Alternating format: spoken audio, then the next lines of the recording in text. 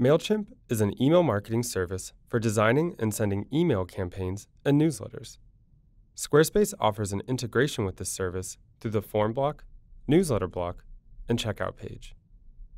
You can also use an RSS to email campaign feature to allow visitors to subscribe to your blog via email.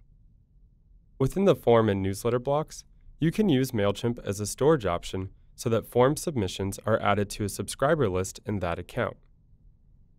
In the block editor, click Storage and MailChimp.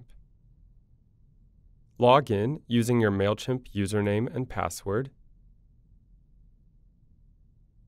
and select a list for form submissions from the drop-down menu.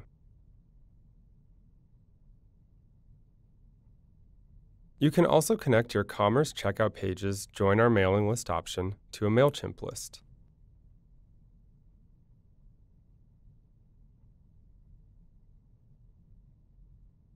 And use MailChimp's RSS to email campaign feature.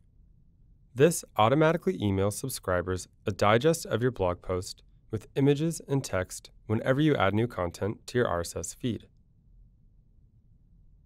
If you're sending your MailChimp newsletter from an email address using a Squarespace domain, MailChimp recommends setting up your own DKIM and SPF authentication.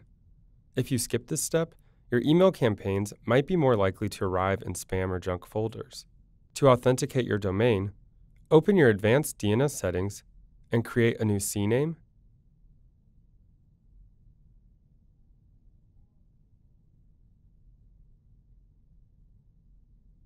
and a new text record.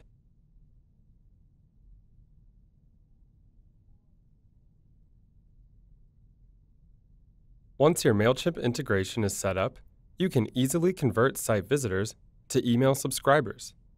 Let us know if you have any further questions. We're always here to help.